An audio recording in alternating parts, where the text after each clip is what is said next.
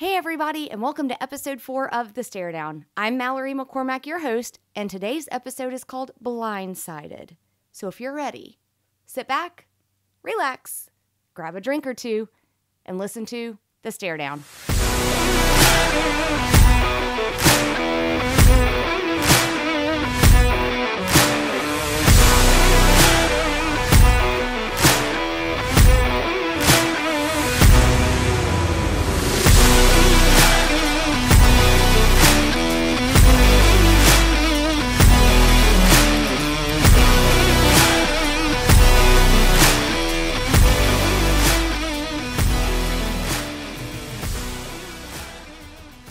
So today's episode is obviously going to involve the filing that happened in a Tennessee court this week between Michael Oher against the Tuohy family. So Michael filed to end his conservatorship with the Tuohys, and boy, did so many people have so many opinions on it.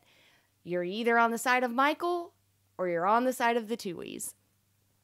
And I'm sure you would all love to hear which side I'm on. And I'm not going to tell you because what I feel like is happening does not matter. I don't know that either side is going to win in this. I don't know that this is something I really actually want to play out and see how it plays out because at the end of the day, this is a family that is being torn apart for various reasons money, past trauma, you name it, it's being brought up and it is not a good situation. But what I do want to address about all of this actually ties into a situation that I had this week. And you've got to love these keyboard warriors. They get on Twitter, they get on Facebook, they get on a news article, and they leave a comment. And of course, they know everything about everything. Their cousin's brother's mother knows the boyfriend of the paralegal that works in a law firm next door to the Tuohy's office. You'll end up with all of those things, right? And then they put their opinion out there. Well, he's just in it for money. Or why would they try and make money off of him? They already had plenty of money. But that's not the point, guys. The point of the matter is there's a family being torn apart there is a lot of trauma in his life that has been very well documented in both the book, The Blind Side, and his book, I Beat the Odds. And I believe he actually has a new book out as well. I haven't had a chance to check it out, but I have read both The Blind Side and his book, I Beat the Odds. And y'all, Michael Oher was portrayed very poorly in the movie. He was made to seem like he was dumb, like this sweet white family took him in, and without them, he would be nowhere. And they made sure that he had this high football IQ by the time he got out of high school and all of these things. But if you read the book, The Blind Side by Michael Lewis, you actually find out that that's not the truth. The movie was made within the Hollywood confines, it was made to be even bigger and better than it truly was in real life. More feel good, more heart wrenching. But Michael actually knew football. He was actually very smart, very intelligent. He was a phenomenal basketball player as well, which most people don't know if you just watch the movie. But Michael's an extremely athletic guy. And so the Tuohys taking him in did not make his football IQ go higher. Did it maybe provide some opportunities that he wouldn't have had previously? Sure. Beyond that, I don't really care to speculate about anything. All I know is he went to Ole Miss. He was amazing on our offensive line. He went on to be drafted by the Ravens in the first round. He won a Super Bowl, and now he has a beautiful family. His wife, kids, love it for them, happy for them. He's now dealing with some stuff and having to do it in a way that he feels is necessary for him. And that's not my place to judge or speculate as to why. Now, for the Tuohys, I honestly feel like they probably were coming from a good place, wanting to help. I don't know them personally. I don't know anyone who knows them very well personally, but I'm never going to speculate on something that happened honestly close to 20 years ago at this point.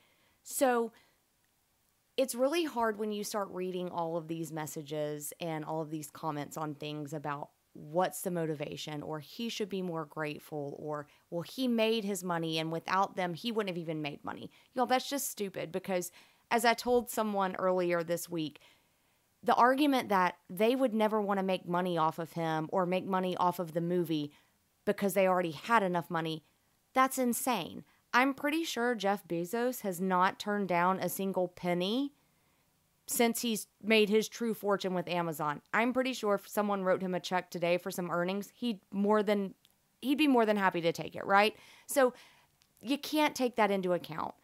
But like I said, it's really hard to watch a family go through this and watch it take place in such a public way.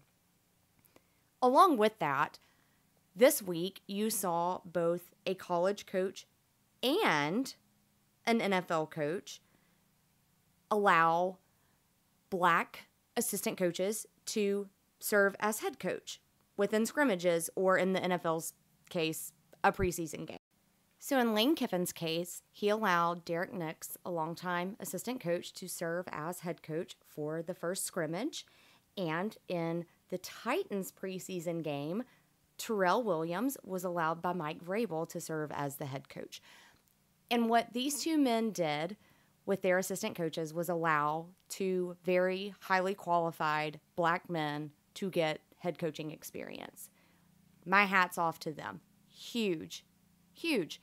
Both of them pointed out the fact that there are not enough minority coaches out there. Lane Kiffin specifically pointed out that there are zero black head coaches in the Big 12 and the SEC. He actually didn't tell anyone in the media that he was doing this until after the game. And this is where my blindsided moment comes from. So he goes and talks to the media after the scrimmage. He tells them why he did it. He said, you know, Derrick is very deserving of this and they need to have the opportunity to showcase their talents. You never know what opportunity may, may be out there, and let's help them build their resume, right? I applaud both of these men for doing that. So, anyway, let's back up a little bit. So, Lane tweets out an article that talks about this, and he is talking about his dad and how his dad basically, you know, told him that you need to give opportunities to those as you have them. So, I respond to a message that someone has tweeted in reply to Lane telling him that he should basically just sit back and they said couch. I'm pretty sure they meant coach, but that he should just sit back and coach, stay out of politics because it's, and I quote, bad for the sport. I wanted to know how it's bad for the sport. So I respond back that one, I don't understand why an Arkansas fan cares what Lane Kiffin is doing. And two, I don't understand how it's bad for the sport. He is allowing someone an opportunity to showcase their talents and to act in a way that their whole career has led towards. I then get attacked and say that I know nothing about what I'm talking about. I should just leave it alone, all of this, that this is this person's happy space and football is where he comes to escape real life. Well, congratulations. If only the world worked that way, where we could all just have a happy place to ignore everything. But the people wearing these jerseys and wearing these hats as our coaches and administrators, those are real human beings with real thoughts and feelings. The same way Michael Oher has real thoughts and feelings and real trauma to deal with. And the Tuohys have real thoughts and feelings and real trauma to deal with. Lane Kiffin has the same. And so for a fan or not a fan to say that he needs to just keep his mouth shut and do his job, it is so hypocritical because I guarantee you, this guy who was telling Lane to basically shut up and do his job, I have no doubt he probably goes into his job and talks politics and all of the ills of the world that bother him, and that's okay. But if there's someone who's maybe escaping a horrible situation at home and so work is their happy place, he's not affording them the opportunity to enjoy their happy place. So it's very hypocritical in the way that we as fans interact with these coaches, administrators, and athletes. It's actually pretty disgusting in a lot of ways. So I get blindsided by that. I can handle that, right? I know what I'm here to talk about. I know what I believe in. And I believe that if you've got a voice, use it. If you're going to leave this place better than you found it, go for it. What I then ran into, and this is where it honestly gets a little comical, someone who was not even involved in our exchange, who was a Texas A&M fan of all things, decides to comment on my looks and apparently my genetic abnormalities and how I have won the random number generator of genetics because I have a gummy smile and crooked teeth. First of all, I'm pretty sure my parents would be very upset if they thought that the money they spent on my braces did not fully correct the crookedness of my teeth. So, hey, mom, dad, sorry for he for you to hear this this way, but apparently people don't think it was a good job. And Second of all, if I have a gummy smile, that just means I'm really happy and it just is what it is. If that's a genetic abnormality, so be it. I I am who I am. My genes are what they are. There's nothing that I can do about it. So a dear friend of mine jumps in to my aid, tries to explain to this guy that, look, why are you even t- attacking looks? Why are we even going into this? You're not talking about the issue at hand. Stop. The guy ends up attacking him as well and basically asks if the mental midget, that's a direct quote, is his wife or if I'm just some random person. He explains I'm not his wife, I'm just a dear friend. He can obviously see per our profiles that we are both from the state of Alabama, or at least currently living in the state of Alabama. So we then get insulted to be trailer trash because obviously everyone in Alabama lives in trailers, right? I'm pretty sure Nick Saban's double wide is the nicest on the block, if that's the case. But I digress. But I'll admit, it was hard to read those things. It was very weird and personal to be attacked for my looks when that had nothing to do with what was happening. And I'm glad I've had a couple of days to kind of reflect on it and see where those feelings really come from because I think what it ultimately is is that as a female, I can be running just on my normal everyday run and a guy can roll down his window and whistle at me or catcall me and I'm just supposed to take it. It's gross, guys. Like it's really gross. And taking it back even further, seeing how on the internet female athletes, females in general are subjected to being judged based on our looks or lack thereof, according to some people. It's a really hard thing, especially when we know that, like, we're good, we're smart, we know our stuff. And if guys are intimidated by that, honestly, at this point, that's their problem. It's not mine. I'm still here to speak my truth. I'm still here to talk about what I love. But I wanted to bring up those two situations to kick off this episode because I think it brings it back to, like I said, one of my main points as to why I wanted this whole podcast to even take place. We as fans have to remember that the athletes we support, the coaches we support, they are human beings. They have real thoughts, real feelings, real trauma, as I've said multiple times now. But they are more than just that jersey they put on. They are more than just that clipboard they carry. We don't have to like it. I don't always agree with everything Lane Kiffin says. I don't always agree with everything that every Ole Miss player or former Ole Miss player says or does.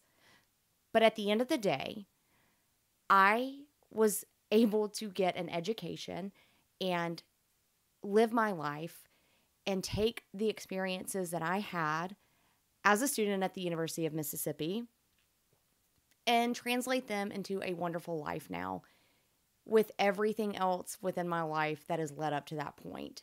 And so for me to criticize someone who is just trying to do the exact same, like I said, whether they're a coach who's going to go on to coach Auburn one day or coach in the NFL or do whatever, or a football player who's going to go play in the NFL, or a female basketball player who's going to go play in the WNBA.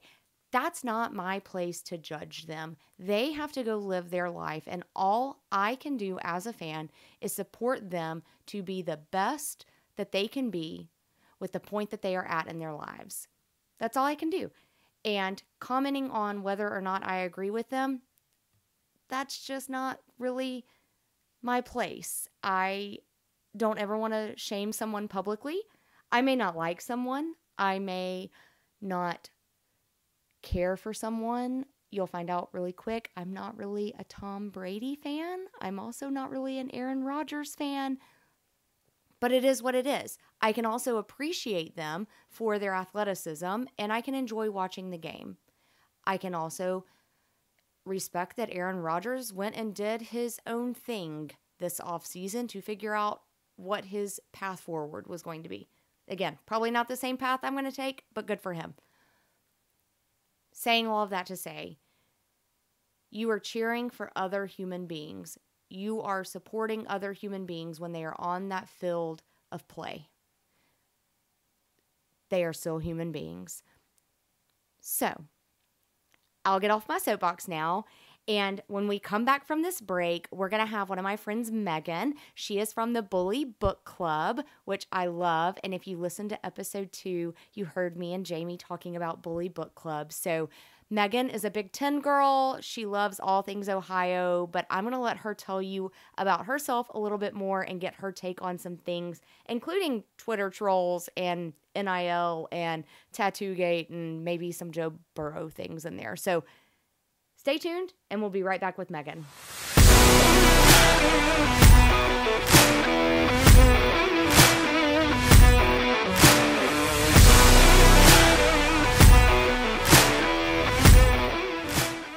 Welcome back. Hope you enjoyed your break. We now have Megan with us. Hi, Megan. How are you? Good. How are you? I'm wonderful. So, I've already told everybody that we met through Bully Book Club. We're in the same chat group, but I want you to tell our listeners a little bit about yourself, maybe your favorite teams, favorite sports players, if you play any sports. So, yeah, take it away. Awesome. Um, well, so I am from Ohio, grew up in Cleveland. Um, so, my first teams growing up were Ohio State and then all of the Cleveland teams. My dad's from Cleveland originally, and you know, is it, leads orange and brown for the Browns, and um, you know, so I always grew up with that, and I think it's kind of an interesting perspective because, you know, I didn't didn't know what a winning team really looked like. Um, that could, you know, kind of cross the cross the finish line until um, you know you had the the Buckeyes national championship uh, win in um, you know the Miami game. So, um, but yeah, you grew up with all of those teams and still, um, you know, support the Cavs and uh, the Guardians. And then I live in Cincinnati now, and um, my husband is um, a big Bengals fan and obviously Ohio State fan too. But um, you know, it's been it's kind of interesting because I have definitely um, adopted, I would say, the Bengals over the last couple of years. I mean, the Browns made it really easy uh, with all the Deshaun stuff. I mean, you know, if nothing else, they made me feel bad for Baker, and that's an awful feeling. Yeah.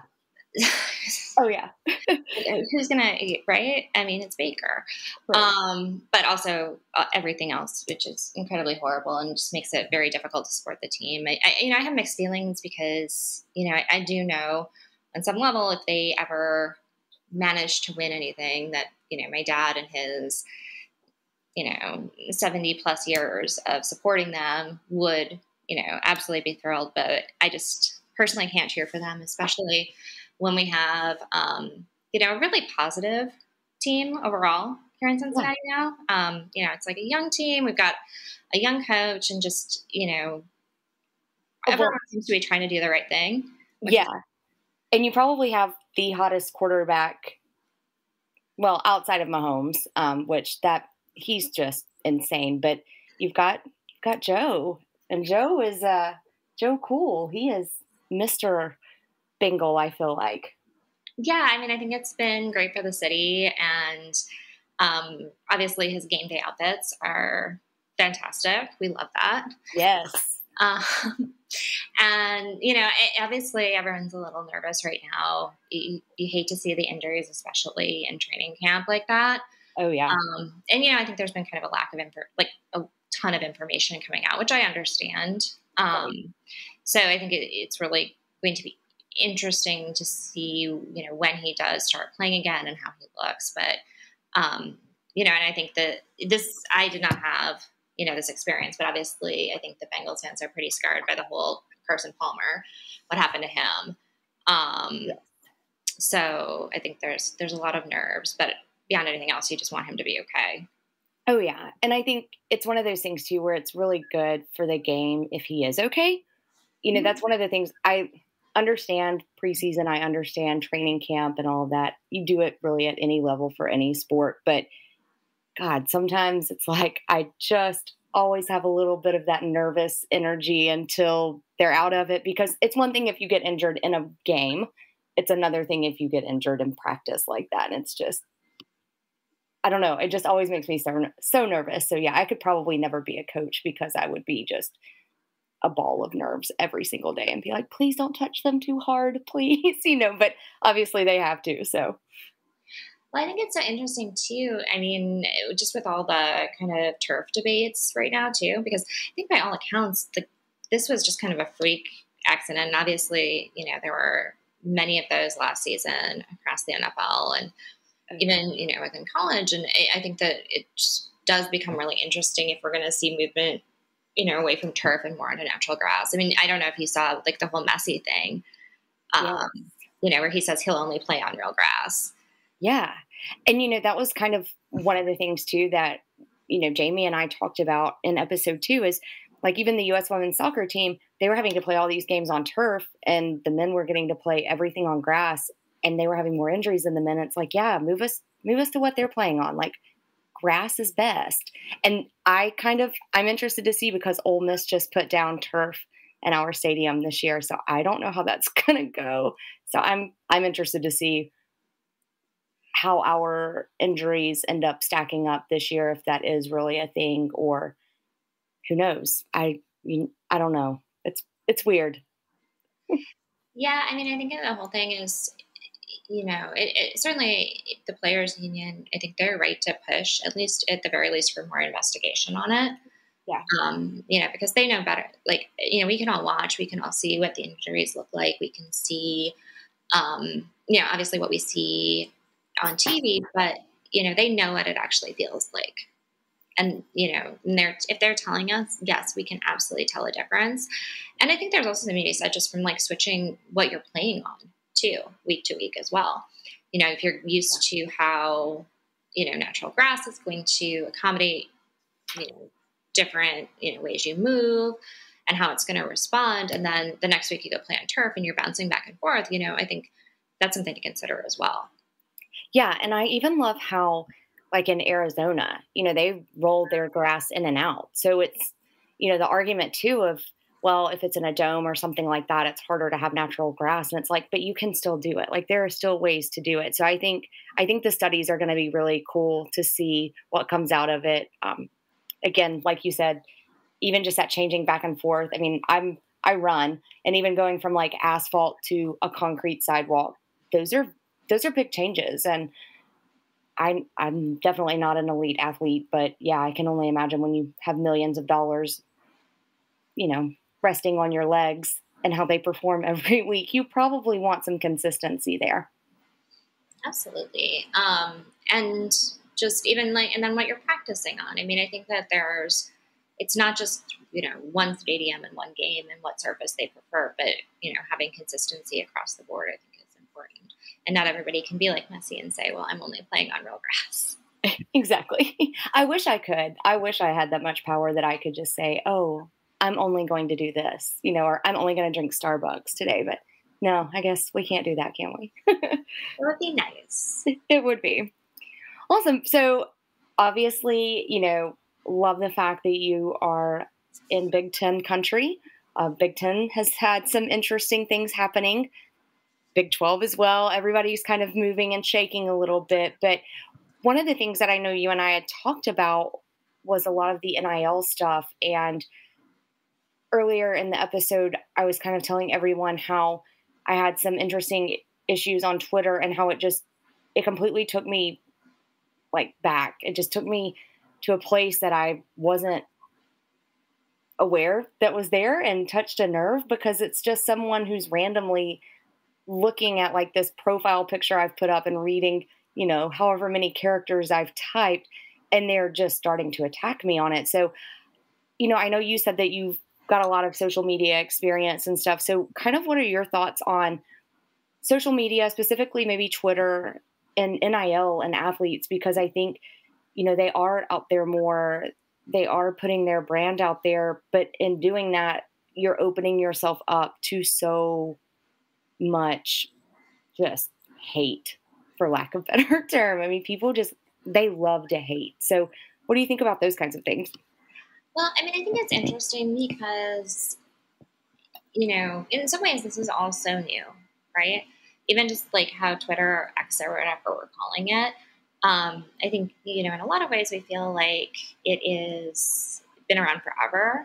But, you know, if you just look at, you know, the evolution, it's still something where I think we as a society have to figure out how we are going to you know conduct ourselves because right now it, it's truly the the ability to be anonymous is you know it, it, gives people so much power to say things that they would never say in real life. Um, you know and obviously there there's the absolutely horrible trolls. I mean i'm sure if anyone listened to this because i know what what happens to women on the internet I, I in the back of my head i have a counter going on every time i've said um as i formulate my thoughts and uh, ensure that that would be something that people would find to criticize because I know, you know, just even doing this, and I'm sure, you know, I haven't seen what um, exactly happened to you on Twitter, but I know just from, you know, listening to their podcasts and, and, you know, talking to people who do this, the amount of policing around female voices yes. with Uptalk and, and you know all of that you know can bring you into criticism. And then i think you know you're obviously by doing this podcast in the first place treading into a space that some people may consider to be a traditionally male space which then it formulates even more of an attack. But i think in terms of players I, I think we're in a really tough place right now. If you're a coach um, particularly at a power five school you know there there's a whole there's a whole department that works on this. And if you don't want to look at your Twitter and see what the people are saying about you, and you have that um, also personal fortitude, because I think it's really hard. I mean, you see this with celebrities too. Everyone's like, well, just don't look at what people say about you on the internet, but it's really hard not to, right? Um, but if you're a coach, you know there are there are people who can look at this for you because you know arguably it's part of the job and you know, especially in this day and age, in terms of like recruiting and things like that, you, you have to have that social presence. Um, but if you're a if you're a player, there's nobody there's nobody protecting you, and at the same time, you really do. I, am sure, you know, especially with NIL deals, and then just you know, even trying to look at deals if you were to to make it to the next level, you, you have to you have to have a social media presence to build your personal brand these days you can't not be present. Um, you know, and that's how you're going to get attention. That's how, you know, potentially you're going to, you know, grow your career outside of your sport. Um, and I, I think it's so hard because it just goes back to the commodification of athletes in general. And you see, you know, over the, you, you always see players talk about fantasy and how that has also contributed to this idea that players are not people. They're just you know, they're just there to score points for your fantasy team so you can, you know, be your brother-in-law. I don't know. Uh, so you don't have to shave your head for losing the, the league at the end of the year, right? Something right. stupid. Yeah. Exactly. And people are also you know, I think in general, as a society right now, we also all have such short attention spans, and everything it becomes so much like, what did you do for me lately? And I, I know personally, so I am a very nervous game watcher. Um, yeah, I'll pace if you know things are happening that starting to feel stressed about my team, I will often bad habit, but I will go onto Twitter for you know some sports writers I like and you know who support my teams and just kind of like see what people are saying, you know. And a lot of times it, you'll go on and I don't know, maybe I don't maybe Ole Miss fans are better, but I do find that a lot of Ohio State fans in particular, especially last year, um, you know, it'd be like the first play of the game just had kickoff, and you know, people are on there like, I can't believe we didn't, you know, return for a touchdown. Coach Day should be fired. How is he still our coach? We need to get him out of there. And you're just like, guys, they've been playing. You know, the game just started. Yes. Um, oh no, and don't worry, Ole Miss fans are not better. We same, like they're awful, and they say stuff like that, and and why is this player still there? How dare he like, you know, make a mm-hmm. mistake? I yeah, it's disgusting. I have a hard time with it because I just want to defend them. Like I want to defend them all.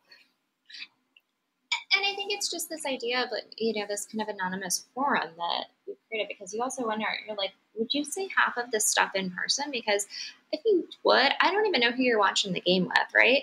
Like I the just the amount of sheer negativity, even when things are going well. I mean, and you can tell me, again, maybe Miss fans are better, but then you have this contingent of people who, okay, they won, but they didn't win by enough points, so Coach Day should still be fired. Yes. You know, or or Jim Knowles should be fired because you know they missed you know some blocks or something. You know, like yeah. it's just um, unrelenting. And I know from personal experience, like last year we were watching um, the Notre Dame game. And my cousin was in a place where he was getting very nervous. And, you know, so he's like, oh, I just don't, I don't know. I feel like they're going to lose. I feel like they're going to lose. And we kicked him out and we made him go to another room because you cannot have that kind of negativity. So I just, I wonder too, some of these people, you're like, do you, are you watching with anyone? Like how, how can you just live in this like cesspool of negativity where, where nothing is good enough? And I mean, don't get me wrong. Like we're all fans. Like there are certainly things you say um, you know, when you're watching a game, like, you know, I can't believe we're calling that play again, or like, what is going on here? I mean, I'm certainly guilty of that myself. Like, you know, oh, absolutely. You know, eh, like, you know, strat last year, you're like, what? Run the ball. Just run.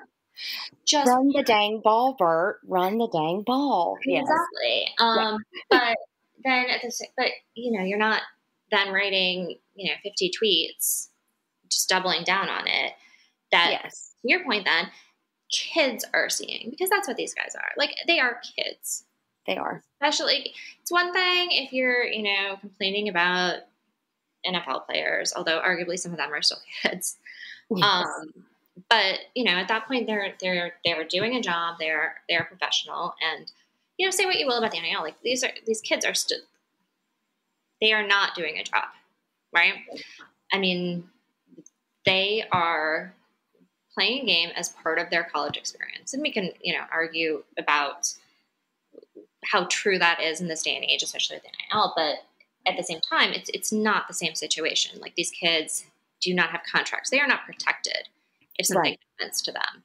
Um, yeah, and I, you sign away things when you when you know you go to the NFL, for example. Oh, absolutely, and I think too, it's you know these are still kids who are trying to have a life. And, you know, I, even with my job and my nine to five, I don't want someone standing there and pointing out every single little mistake I make. And so I think that's kind of to your point too like how can you be so miserable that that's all you do?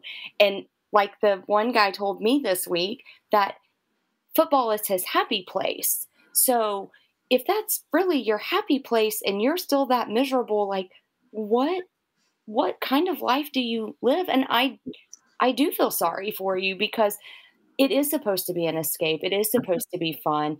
These kids are also supposed to be having fun with it. And I think that's probably the hardest part is, you know, when did we become such and I feel like we've probably always been a little bit of the what can you do for me now? Like, eh, if you're not if you're not perfect now or if it's not just a little bit better and you're not just great immediately, then it's we'll move on to the next thing. And I think you even see that a lot in like coaching jobs.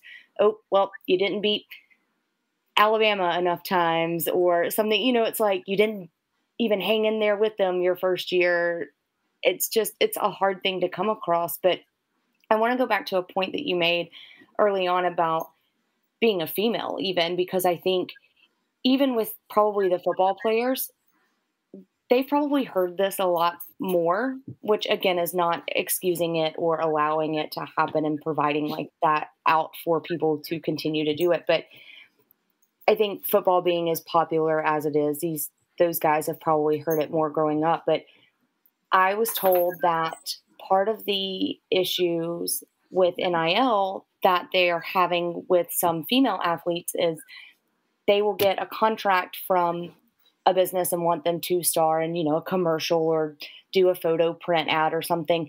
Well, if it's a football player or a men's basketball player or a baseball player, they're just throwing them out there and letting them sign the contract. Before they'll even give the contract to the female student athlete, they want her to do like a test shoot and make sure that she looks a certain way and that everything looks up to par. And then they'll talk about giving her an NIL contract.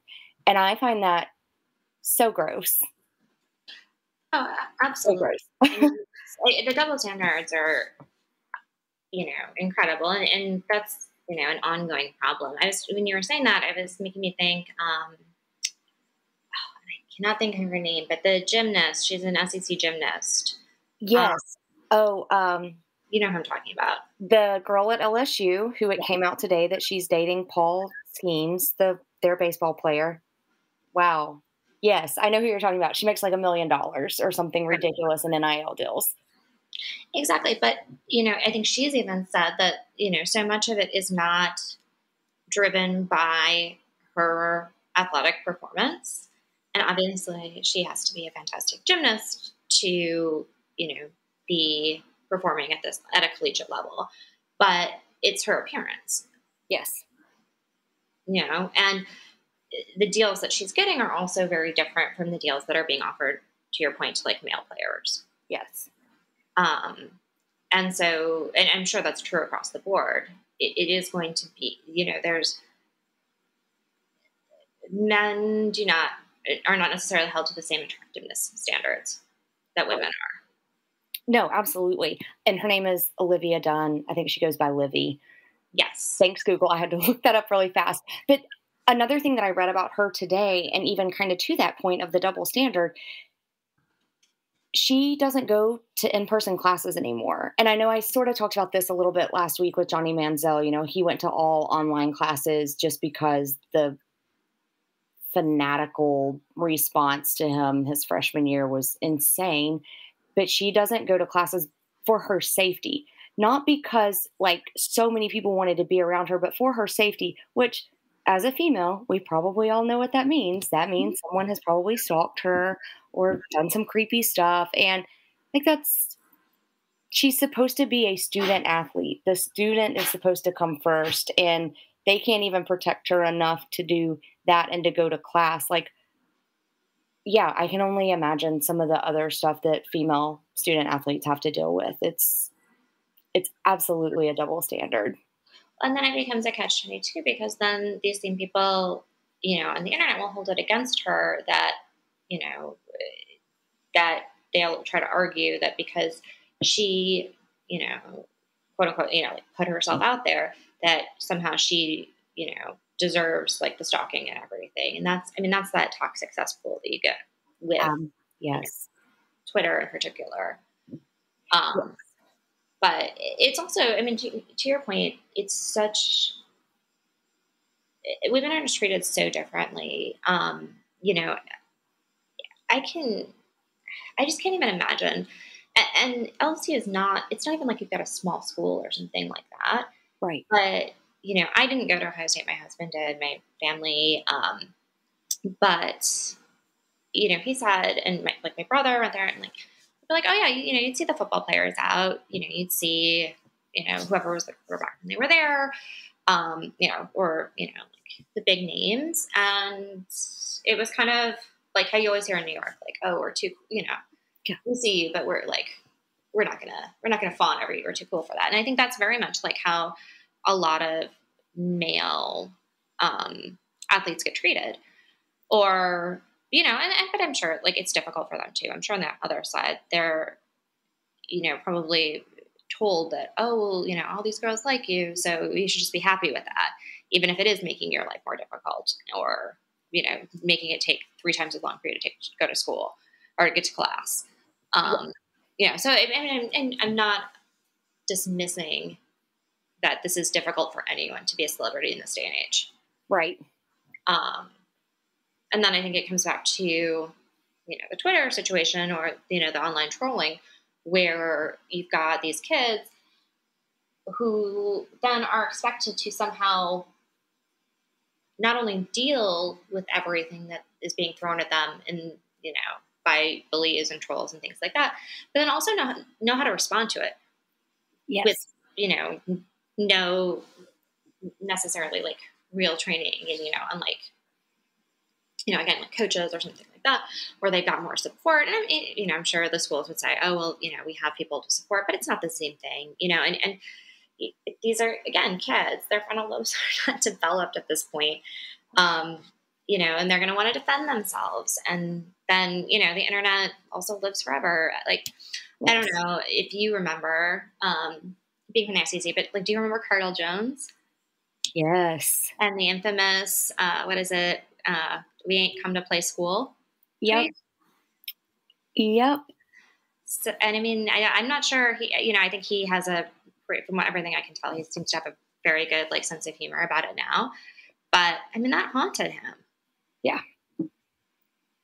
And that's the thing too. And you know, I've always tried to have this belief, even just in normal everyday work situations, sending an email, being very cautious of not too many exclamation points, not sounding, you know, overly excited or overly angry, and kind of treading that line of you're sending what looks like an emotionless thing, but there's always emotion tied into it, right? Like we're humans. Emotion is tied into everything. And so especially when you do get on the internet, you can't you can't tweet sarcasm, you can't tweet humor. It just all comes across 90% of the time I feel like it it's going to be taken out of context. Heck, probably 99% of the time it's going to be taken out of context because there will be those people who just don't they don't know you. They don't know how you would normally talk or type something in a text. You know, those kinds of things and and it just always it just is going to get blown out of proportion.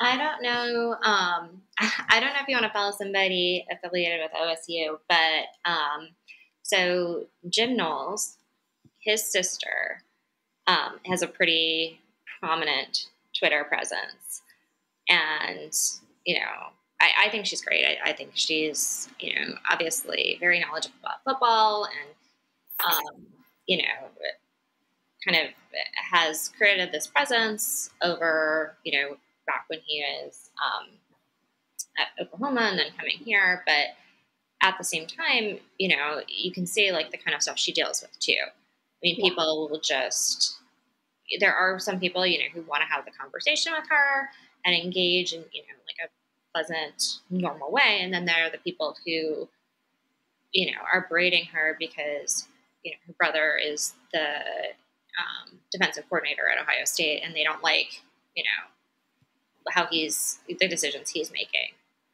And they're taking that out on her.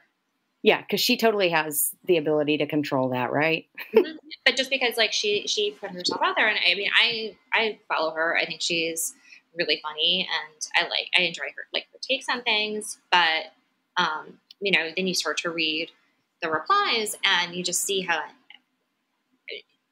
I think it's very rare to find any sort of Twitter engagement where you don't have some sort of trolls or people who are just coming in to take some sort of a very aggressive position, be it, you know, because they had a bad day and they want to, you know, they, they're taking it out on people or, you know, they just get some sort of weird kick out of, you know, trolling or what's going on, like the bigger picture. But I, I think says something that I don't, I'm not sure you can find anything now, especially with with how it's being run now, where there is just you know a purely positive back and forth. And at least when you were mostly you know before Twitter really blew up, you know, I'm sure all these conversations, you know, about like should we be starting this guy, like you know, what's our play calling doing, all of that stuff. Like that's happening on message boards, right?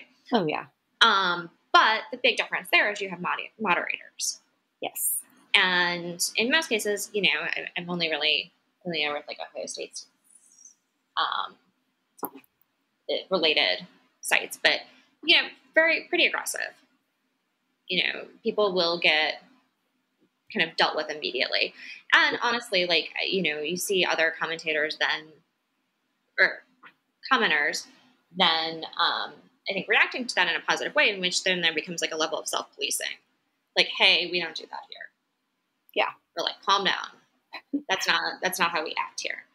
Yes, like okay, you've had a bad day. Take a break, take a breather, and come back when you can say nice things. right. Yeah, you can come out of the grays. Um, yeah. But I think that it it just is this place now where you can just do whatever you want, and that tends to bring out the, the worst in people. Broader, and obviously, you know what we've been talking about, which you know the college athletes. Yeah.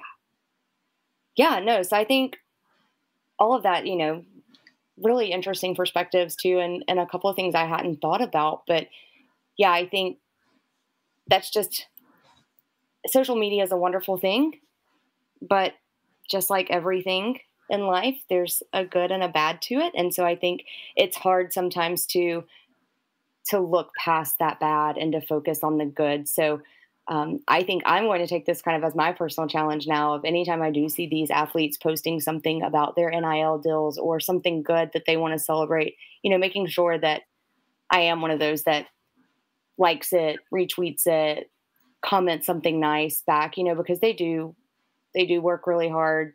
They don't get paid enough if they even have an NIL deal. Some of them don't. But yeah, I think I think this is a good good wake up call just even for me personally to be like, hey, just remember that that person on the other end, they have feelings too. well, a lot of it's too is like, would you ever dream of saying something like that to somebody in person? Oh no, never. These people would never say this stuff to your face. I mean, I, I obviously because they're they're hidden by the internet, but also like no sane person's ever going to say anything like this to another person. Right. Um, exactly. You know, and I mean, I think it's hard too because you know, you want to think again because these are kids, but people treat them like, and I think it's all athletes, and it goes back to like what we are talking about with like fantasy too, of the you know people going after I don't know like Zeke because he didn't score enough points for them, and not realizing that they are going to take that and like it's actually going to affect them. Like they're not they're not they don't they do not exist in this world solely you know to benefit your fantasy team or so you know your favorite team wins. And everybody has bad days and they're not just like and you're like you know i'm sure some people would be like well i mean i'm not actually like targeting anyone specifically. But it's bigger than that because these kids are also like they're seeing everything you know they, they see oh my school's trending.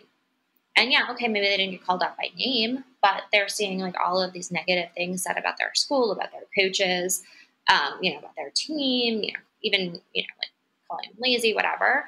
And that's going to have an effect even if you are like, oh, well, but I didn't say anything bad about anyone in particular. It's just, and I think that gets back to the point too. Yeah. You're supposed yeah. to have some joy in this. Exactly. Sports are supposed to be joy if all you're doing is being, you know, like angry about it. Yes, I know it's Yeah, sports are my happy place. Um, I do get frustrated. I do yell a lot. I you you were talking about being a pacer. I'm a total pacer. I also have weird superstitions, but as I tell everybody, they're only weird if they don't work, and they usually work. So we'll, we're going to stick with them, right? hey, if you're cool, let's take a quick break. And then when we come back, I want to wrap things up because I want you to give me your take on Tattoo Gate uh, and then a couple of other things. So we'll be right back. Y'all stay tuned.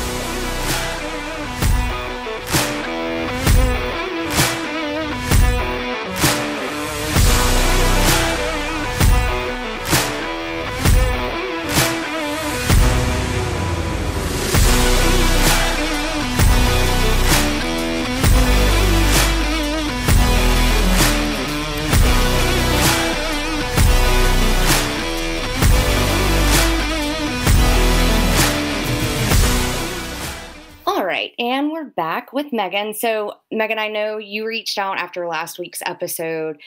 And of course, my little SEC loving heart, I gave my two examples, but Tattoo Gate, that's your that's your big NCAA scandal. So I want to hear all of your thoughts on it and kind of get your perspective from it and what that was like. Because it again, looking back on it now and knowing the way things are now, it seems so insane. I mean, so anyone who is not aware of Tattoo Gate, um, so it happened in 2010.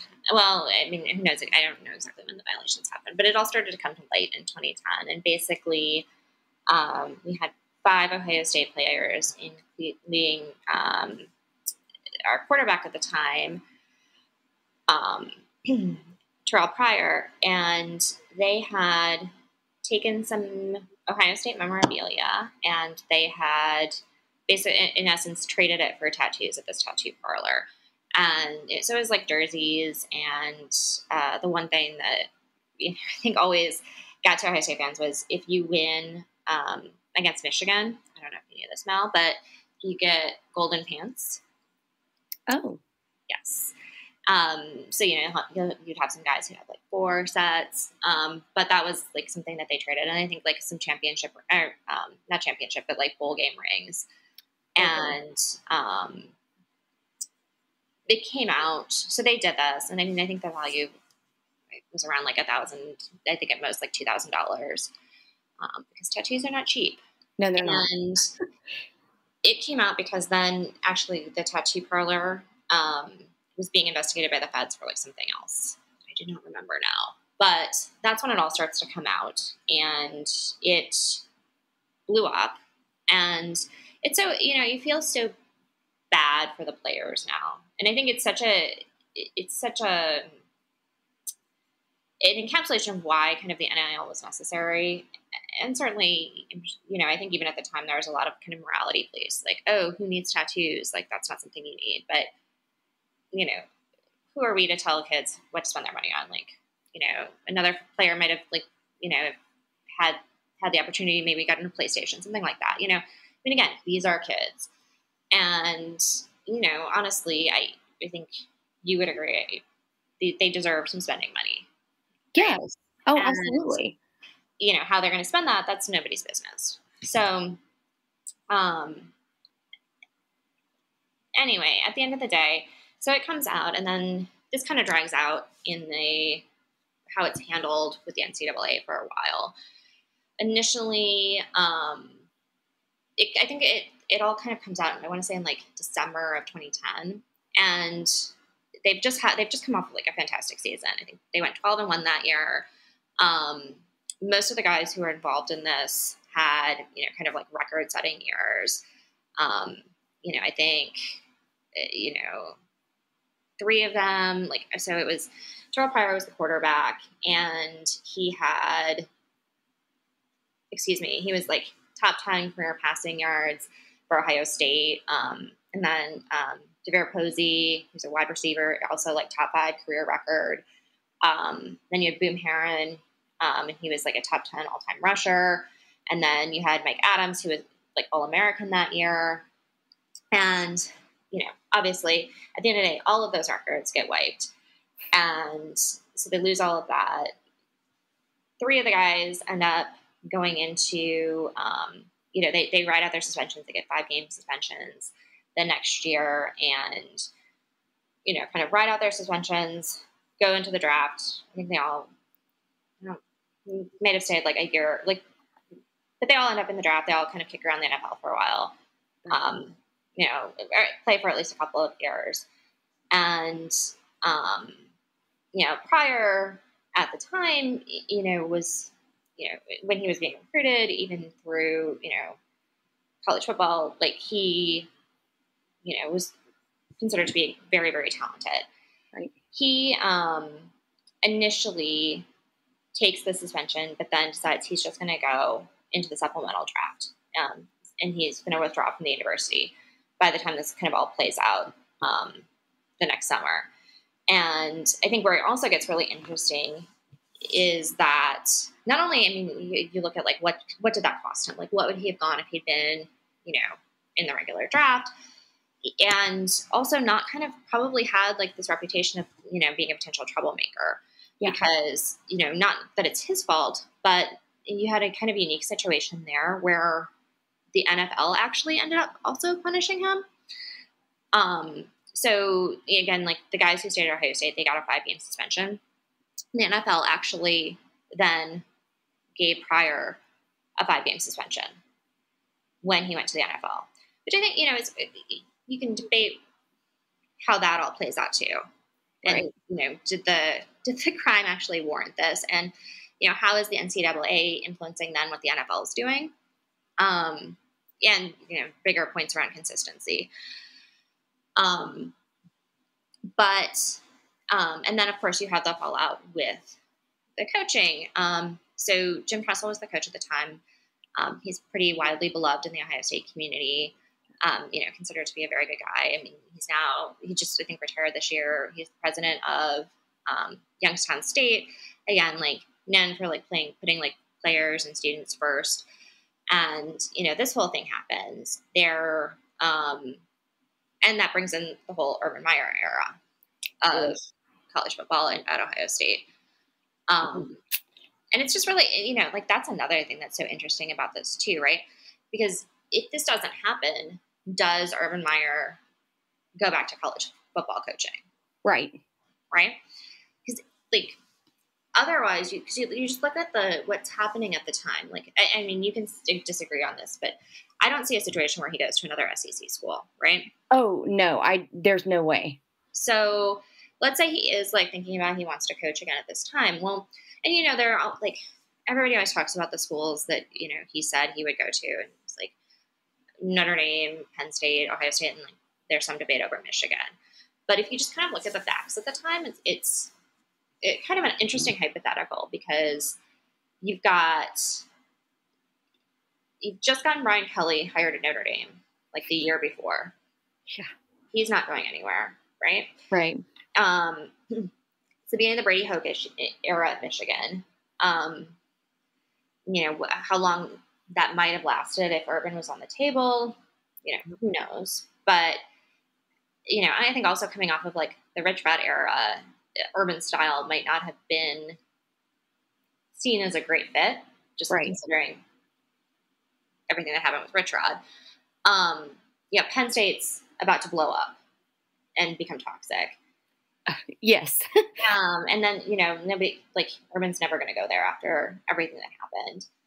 Well, and they want a coach that is going to be fully clean. And let's be honest, that's not Urban Meyer. Well, also that. But just, you know, if you're thinking about like where he could have gone in the college football landscape, you know, and once you get like Hoke and Brian Kelly locked in these contracts, you know, I think a lot of fans would have been like, oh, you know, you could just drop them and go to the better option. But like that's not how contracts work. Right. Um, and like what buyouts look like and how expensive this all is for the schools. Um, so you know, so you're in, you're kind of locked into all these coaches. I mean, the only other one I guess you could put potentially on the table is USC, but they're coming off of their own problems, you know, with Reggie Bush and Pete Carroll fleeing to the NFL, and even started the Lane Kiffin era, and everyone's pretty hyped on him at that point. Um, for yes. for you know, whatever it's worth. Um, Man, we've come such a long way. exactly. But at the time, he was, you know, considered to be a, a very, very good catch. And so, really, you know, if Tattoo doesn't happen, and Tressel's contract at the time was through 2014, you know, within the Ohio State community, I think you could have a debate over whether or not the program would have achieved the levels that fans expect it to. You know, if he could have continued to evolve with the times. But I think after what happened with the two national championship losses, really seeing the program is on an upswing at that point. Um, again, you're 12 and one. You know, then the NCAA makes this very self-serving decision to not do anything when they find when this all comes to light in December and let them play the Sugar Bowl against Arkansas, um, which then they win and they have a great game. So arguably, you know, adjustments have been made. The program is on an upswing. No reason to to get rid of Tressel through his contract.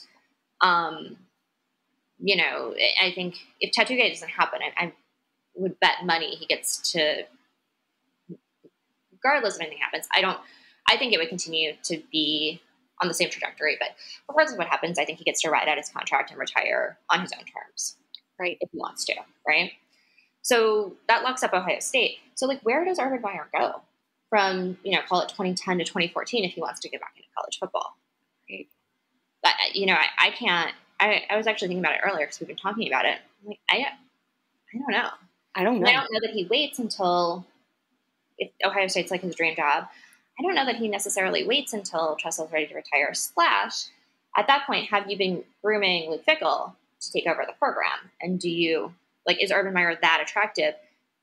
Again, if we're playing out the hypothetical in like 2014, 15, right? That you just pivot all of your planning to pick up Urban Meyer, who at that point hasn't coached in, you know, what six years? Yeah. So we could have, if Tattoo Gate doesn't happen, we could have just never had another Urban Meyer era in college football. Yeah.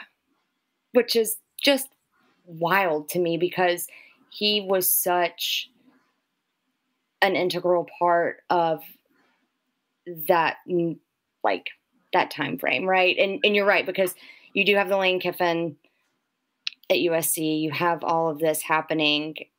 And so you're starting to see these younger guys come in and Urban is by no means, you know, an old guy, but he's a younger guy who has that proven like winning record and that he can take programs and go do good things with them and go compete for national championships. And so I think, yeah, that was just, it was kind of that weird perfect storm that mm-hmm. happened. But, you know, I, I remember looking up when you were, you said you, you know, wanted to talk Tattoo Gate. I looked up the amounts and we're talking like $2,500 that these mm-hmm. kids got.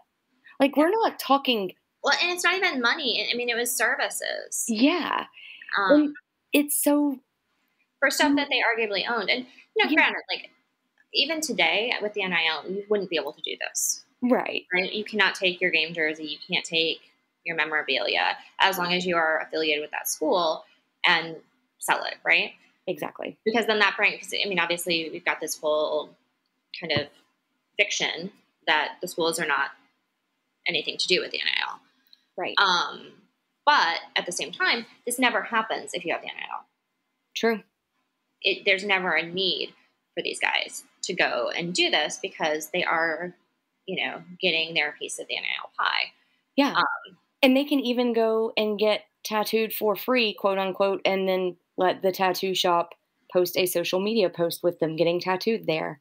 Exactly. And that's all perfectly fine now. So, yeah, it's crazy to me how even things like that just it changed everything. Um, coaching wise, you know, landscape wise, just with programs as a whole, because programs like have crumbled for this kind of stuff.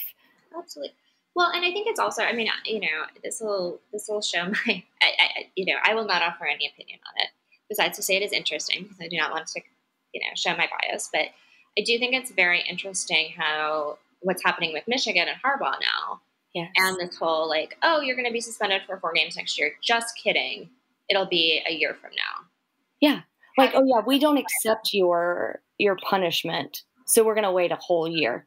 Okay, well then what if he goes to the NFL? which is probably what's going to happen because, like, Oh, this yeah. is where I do have some sympathy for Michigan because it does seem like your coach is trying to bolt to the NFL. Oh, yes, absolutely. And And I think you also have the situation, like, I mean, then, but that goes back to, like, you know, USC happens and Pete Carroll bolts to the NFL and there's no punishment or anything for, like, he personally Yeah. gets out of it completely scot free. Yeah. And I think that's that's part of the the stuff that bothers me too, and some of the NIL legislation that has been brought up um, specifically by the wonderful former coach named Tommy Tuberville, who's mm-hmm. now a U.S. senator. Good job, state of Alabama. Way to show what we really prioritize down here, and that's obviously football. But he put in there, you know, the legislation. It's that a kid has to stay for three years at the school they originally signed with. Okay, well, say this happens there and a kid wants to bolt and go somewhere else because, oh crap, the coaches aren't there anymore, or, ooh, we're going to be put on probation. Like, Or even not even like something happens, like the coach, like, like say, like take whatever is going to happen with Harbaugh and the NCAA right out of it. Yeah. Like, if this is the same situation a year ago, and we're having this conversation, you know, and we've gone through Jim Harbaugh trying to go to the NFL for God knows what time. right? Like, what if your coach leaves? Like, not because anything happened. Yeah. Not because like anything bad. Like, there's nothing bad. It's just your coach decided he wants to go to the NFL. Yeah. Like, you know, that's it. you you know, there's no you're not trying to get away with anything, but you know, you don't have a right to decide who you want to play for. Exactly. No, I, I, I don't like that. I don't I don't like it at all. Um, it's very it's very restrictive. It's very controlling, um, and I think it goes back to exactly what you said earlier. It just it's a way to continue to hold them as commodities instead of people, and I I have a big problem with that. So yeah, it's it's kind of gross, but no, I think those are really interesting takes though on Tattoo Gate and and good analysis of like okay, if this hadn't happened, then what about this or this and this team's coach? And I think, you know, those are things too that people don't realize stuff like that plays out. And And here's Yeah. a question for you, Mel, and Yeah. you don't have to answer it. Maybe you can think about it for your next episode. But how do you feel about you know? So all of the guys who are involved with Tattoo Gate have petitioned to have their their records reinstated, right? Yeah. Obviously, Reggie Bush asked to have his Heisman back. Mhm. Do you think that they should get them back? yes, I mean, I do, obviously, but yes, um, you, you know. earned it. It doesn't matter to me. It doesn't matter what happened off the field. You earned that.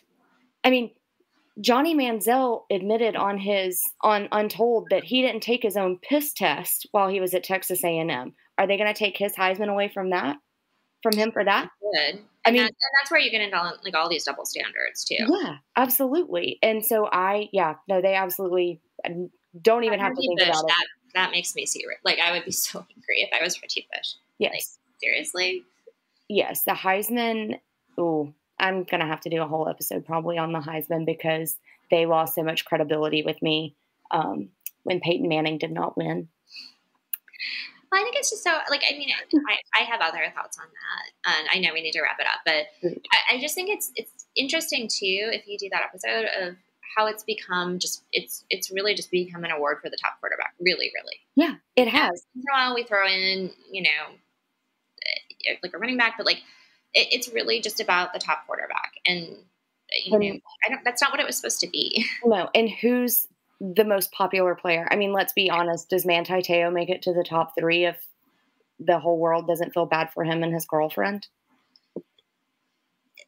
I mean- that- I mean, that also raises questions of like, what were we doing as journalists? Exactly. Oh, yes. So many journalistic questions here, too. So, yeah, we'll definitely have to uh, probably have another episode on just that, and we'll get into all of those because I know you've got to get that sweet pup to bed, and mine are acting crazy. So, um, but to wrap it up, I have started asking all my guests this. So I've got to know yours. If you had a walkout song, what would it be?